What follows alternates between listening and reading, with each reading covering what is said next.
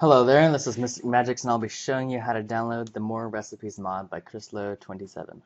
First off, you'll need two things already installed. One is ModLoader and the other is WinRAR or 7-zip. I will link these in the description below along with the link to the mod.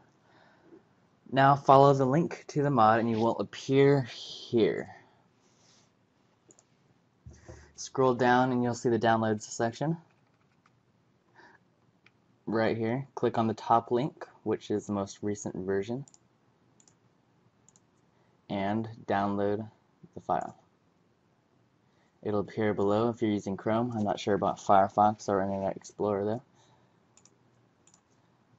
You're going to need to show it in folder and drag it to the desktop.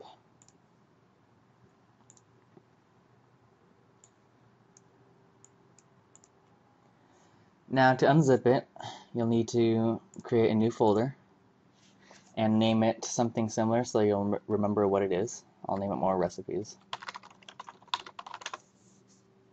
Double click on the zip and drag it into the file that you just created. Now you can delete the zip as you won't need it.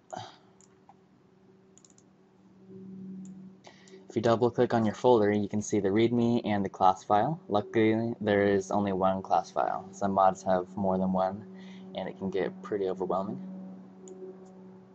If you double click the README, it shows you stuff like new recipes and the link to the forums.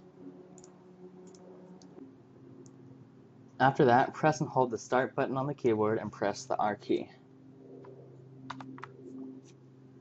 it will bring up the run menu. In this little menu, you need to type percent app data percent. So, and press enter.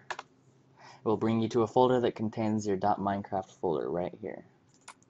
At this point, you probably want to save or backup, not save, backup your backup your saves. The way you do that is you right click on your saves file and click copy. Now you can go to your desktop and do control V and it appears right here. Now I don't need to back up my saves since I already have them backed up somewhere else. Now you go to your bin and you will see your Minecraft jar file. This is where WinRAR comes in handy. Right click, open with, and WinRAR is right here. If it is not right here, go to choose default program Either click on Other Programs or click on Browse and in here you will you can find where WinRAR is located. Once you find it, double click on it and click OK. Then after that it'll appear right over here. Now that you have it opened in WinRAR, open up your folder, your More Recipes folder, and drag your class file. It doesn't matter where you drag it as long as it's, as it's in that window. Now make sure your meta.inf folder is deleted. If it's not deleted, your mod won't work and when you start up Minecraft it will black screen. It's all in caps, it says meta.inf. You need to delete that, don't worry, it won't do anything to your Minecraft. Finally, close everything down and start up your Minecraft. If you started up Minecraft and it black screens, that means you either didn't delete the meta.inf folder or the mod is out of date.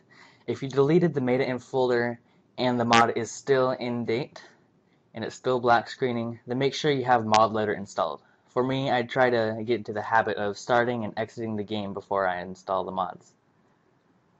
Just so I know for sure that ModLoader won't be a problem. Thank you for watching, and as always, rate, comment, and subscribe.